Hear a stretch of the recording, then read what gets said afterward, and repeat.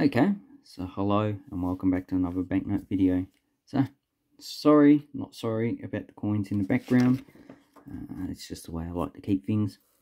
So, Missy, if you're curious about what this one is, Mombasa coin. That is, should be one, uh, two pacer. And we've got various rupees and, ooh, Australian threepence.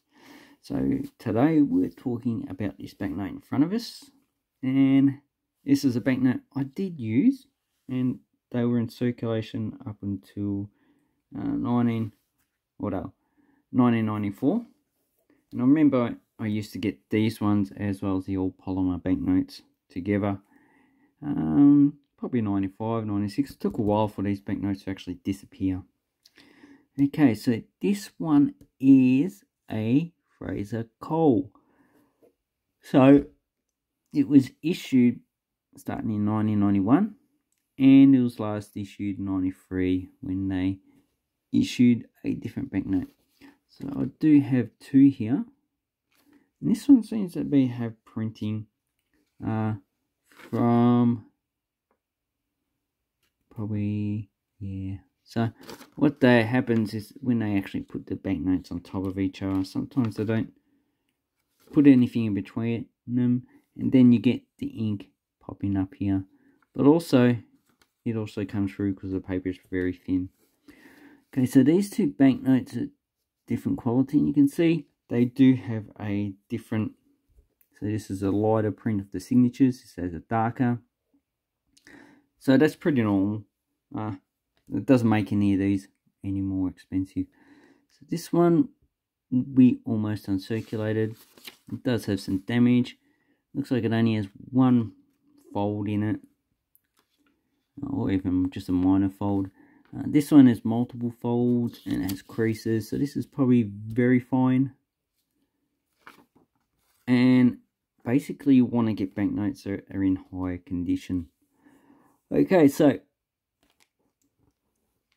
the first prefix for this one is the uh, RHG. So these ones are uh, beyond that. And the last one is ABQ.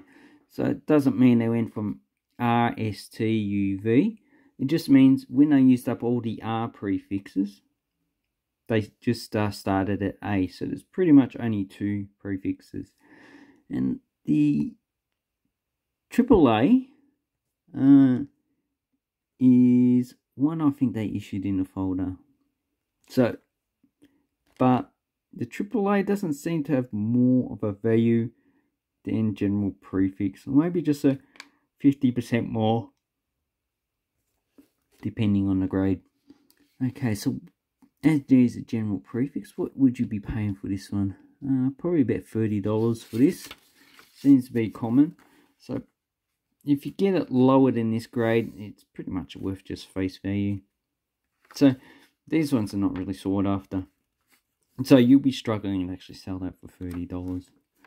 Okay, alright, this one has Hargreaves on it with uh, aircraft design. And this side has Charles Kingsford Smith, was a pilot, obviously with a tie.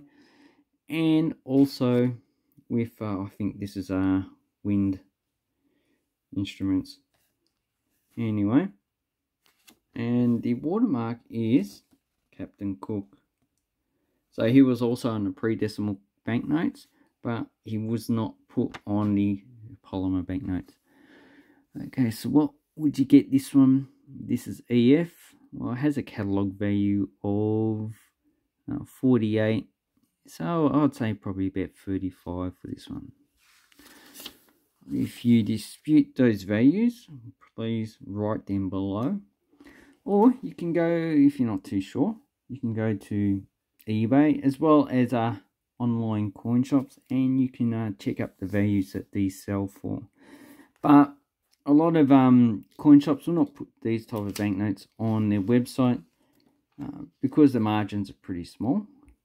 You, they probably just have a bulk lot of these. I, I know that the purple penny, uh, in one of his videos one time, he came out with a whole box full of uh, these banknotes most of them were in pretty low grade. uh, but he, I think he, he paid like one or two dollars over face value, uh, and it's just for anyone to actually um, go through. But pretty much, uh, maybe just pay face value. And then when someone comes in and buys stuff and uses um, currency, maybe this could be a way of actually getting people to actually use banknotes uh, instead of giving them just the current currency. Maybe you can just pay them out in the old paper banknotes. I don't know. It's just a thought.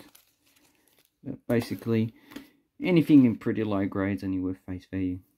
So, I hope this helps you with uh, the 1991 $20 banknote. And just remember, just because it's got Commonwealth of Australia doesn't mean it's worth a billion dollars. Anyway, thank you very much. Have an awesome coin and banknote collecting time. Thank you and goodbye.